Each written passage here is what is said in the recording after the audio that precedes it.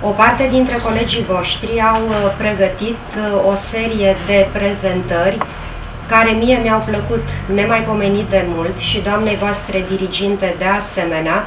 Am rămas uimită să aflu că fotografiile care vor însoți fiecare vers din Ion Pilat sunt realizate de către colegele voastre, de asemenea, m-a impresionat în mod deosebit și prezentarea PowerPoint pe care a făcut-o Radu și care vă va povesti ce anume îl leagă în mod deosebit de pictorul mehedințean Dumitru Gheață. Prin această activitate se dorește apropierea de frumusețile naturii, dar și de cărți. Evenimentul s-a desfășurat la bibliotecă, acolo unde copiii au descoperit multe dintre frumusețile patriei printre paginile cărților. Eu am pregătit pentru acest proiect o prezentare despre Dumitru Gheață, un pictor din județul nostru. Eu, se întâmplă ca eu să fac parte din familia acestui pictor. Pentru mine, natura înseamnă ceva măreț, ceva ce e mai presus de noi și de puterea noastră de a gândi. În natură, noi suntem doar niște mici furnici care suntem cu totul la voia ei. Îmi place mult mai mult, îmi place să pictez copaci în general.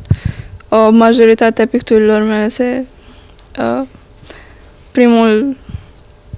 Un anotimp uh, preferat pe care da, îmi place toamna, pentru că îmi plac culorile mai calde. Evenimentul face parte dintr-un parteneriat încheiat între Biblioteca Județeană Ighe Bibicescu și Colegiul Național Traian, prin care se dorește apropierea elevilor de carte și de cultură. În cadrul acestui parteneriat existent între Biblioteca Județeană și uh, Colegiul Național Traian, uh, încercăm să stimulăm uh, și să deschidem apetitul elevilor pentru lectură, încercăm să-i apropiem de carte, încercăm să-i apropiem de de bibliotecă uh, și să le stimulăm nevoia pentru a citi, nevoia pentru cunoaștere. Ei au demonstrat că se pot apropia cu emoție, cu sensibilitate de natură și sper că în viitor vor înțelege faptul că oamenii nu sunt stăpânii naturii, ci doar niște umili supuși a ei și se pot bucura de toate privilegiile pe care ea ni le oferă. Poeți și pictori, deopotrivă, au relatat în lucrările lor despre cât de multe frumuseți poate ascunde natura când este privită și din altă perspectivă.